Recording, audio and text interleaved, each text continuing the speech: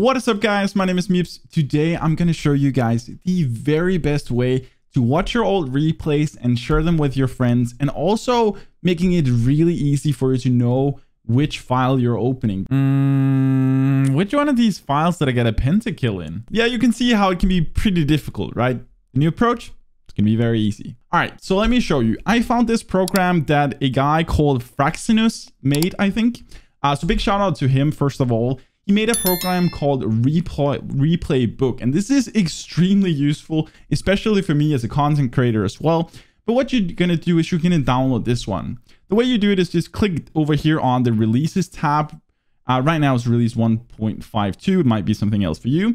And then download the zip file simply by clicking it.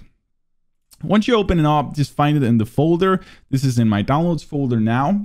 We're going to extract this one. And in here, you will find a file called ReplayBook. This whole folder, the ReplayBook, you can place this anywhere on your computer, wherever you would like it to be, you can put it there. Personally, I really like to put it inside my League of Legends game just so I know that's where it is. So for me, I'm going to go to my C drive, put it in Riot Games, League of Legends, and in here, I'm just going to place it. So Wherever you've placed it, open it up, go to the publish and go to the replaybook.exe. As you open this one up, it might actually prompt you and say that you need a newer version of .NET Core. If it asks you this, just click yes to download it and it'll bring you to this page.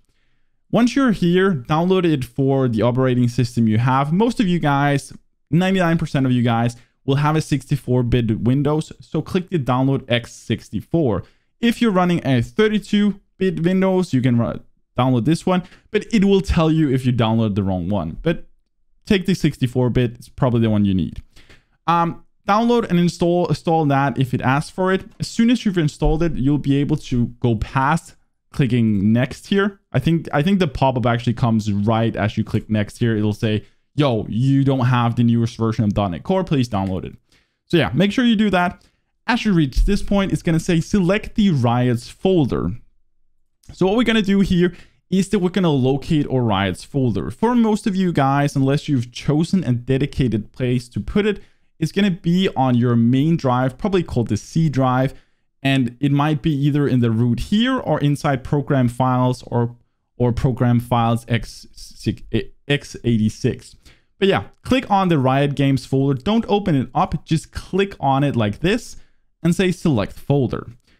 Then we go next because we've now selected the Riot Games folder. For the next one, it asks us where are our replays located. So in case you have changed the path of your lo your replays, then you need to put that one in. But otherwise, you just go browse. You go to your documents. So in here, you will find your League of Legends folder.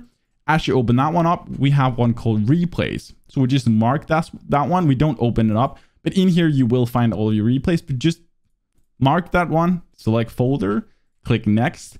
And now it says setup complete. And this is where the cool thing comes into play. And this is what makes it so much better. Now it actually opens up this small little program where we can see the stats of each games, the runes and stats. And we can just click the play button right here and it will say, yep, you can just say play play this and it when you click yes it's going to open up the game for you. And uh, yeah now we'll be able to watch the replay. So this is like so much smarter than the old approach and it doesn't force you to drag and drop things and you know what's in each one. So yeah i think this is pretty cool. I really do hope you guys enjoyed this new approach and found it helpful if you did make sure to smash the like button don't forget to subscribe and uh yeah, if you want to watch me live, go to twitch.tv dash mipz underscore live. But that's going to be it for this one. As always, stay awesome, have fun, and take it easy, guys.